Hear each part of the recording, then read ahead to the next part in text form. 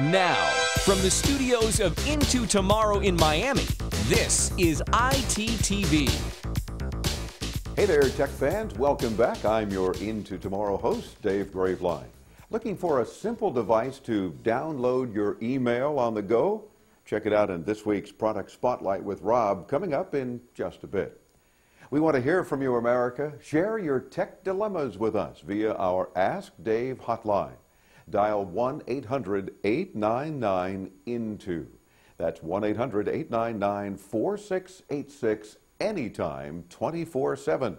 You can also send an email to askdave at graveline.com.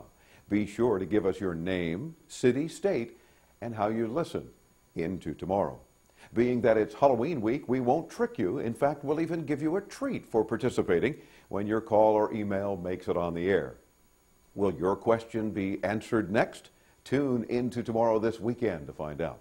Visit graveline.com or intotomorrow.com for more info. Now let's get this party started with Chris Graveline. He's back. Here's This Week in Tech History. Thanks, Pops. Over the sore throat, but at least I've still got a sexy, sick voice. You wish. Hey. This week in 1936, the first electric generator at Hoover Dam went into full operation. Damn. In 1955, the first microwave oven was introduced in Mansfield, Ohio at the corporate headquarters of the Tappan Company. The manufacturer put a $1,200 price tag on the new stove that could cook eggs in 22 seconds and bacon in 90 seconds. In 1960, the Bulova Watch Company introduced its high-tech Accutron electronic wristwatch. This week in 1998, the Space Shuttle Discovery blasted off, returning 77-year-old U.S. Senator John Glenn to space, some 36 years after he became the first American in orbit. Glenn was part of a crew of seven astronauts shepherding scientific payloads on the shuttle mission. That's our look back at this week in tech history. Now, back to my hot tea. Thanks, Chris. Glad you're feeling better. I'm very thankful for the microwave oven. Otherwise, bachelors like us would really be in trouble. Want to bring your email on the road? Well, Rob's got a device that's dedicated to taking your email messages wherever you go. But that's all it does. Let's see what Rob's got to say. Thanks, Dave. Meet Peek. It's an email checking dedicated device for those who want to peek at their email on the go. After some initial setup, it connects to a national network to download your webmail. Just enter your webmail address and password, and it's ready to download your messages.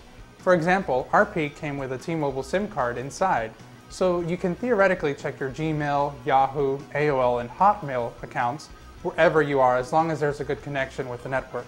It also supports AT&T, Verizon, Roadrunner, Juno, NetZero, and many other email accounts. At the moment, they don't support exchange-based emails, which is a bummer, but they're working on it, they say.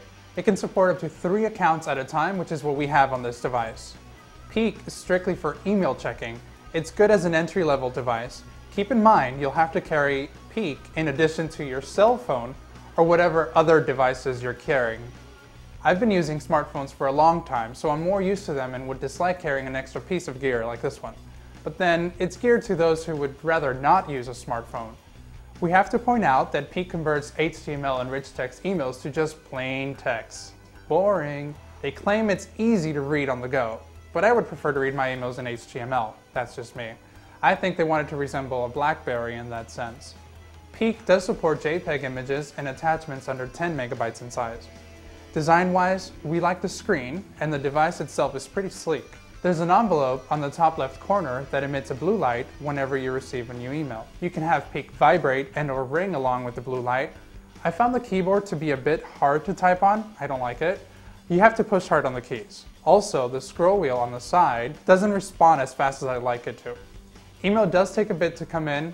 That's not completely their fault as it is your webmail client and on a cellular connection. So Depending on your email provider, Peek checks for new emails every 5 to 15 minutes.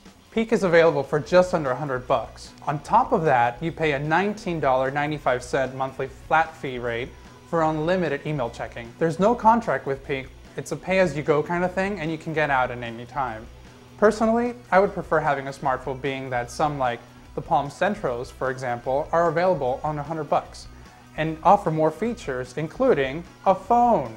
However, we do have to be fair and balanced, so if you like to take your email on the go anywhere in the US, then Peek is something you should consider. It does make a good gift for the holidays for those who have never used a smartphone, so keep that in mind. Peeking into tomorrow, this has been another product spotlight with yours truly. Let's bring it over to Dave. Thanks, Rob. Perhaps version 2 will fix those issues you have, or therapy. Let us know what you think. If you get to try one, would you carry a device for your emails as well as a phone? Have you seen the newest Dave's Top 10 list? Whenever you have the time, swing by and take a peek at our website. Of course, you may be there now viewing this video, but if not, come by graveline.com or intotomorrow.com.